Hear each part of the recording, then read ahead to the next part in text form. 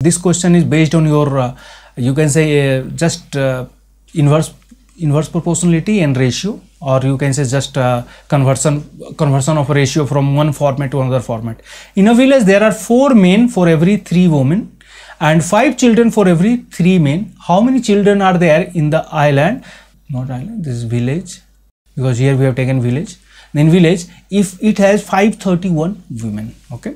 Question is telling 4 men is equal to 3 women, then 3 m equal to and 3 uh, men, uh, men equal to 5 children. Either you can just interchange the value of uh, what is common here?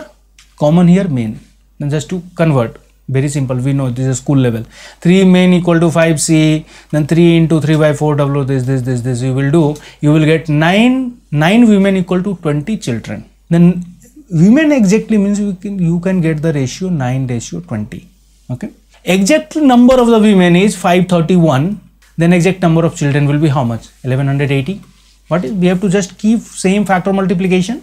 9 will multiply by 59 it will become 531 then 20 also we have to multiply with 59 to keep it equal. To keep it equal we have to multiply by same factor multiplication. We know the ratio a by b will be equal if you are multiplying with the same number a into x divided by b into x correct? Then here we have multiplied 59 this also we have to multiply 59 to keep the ratio same.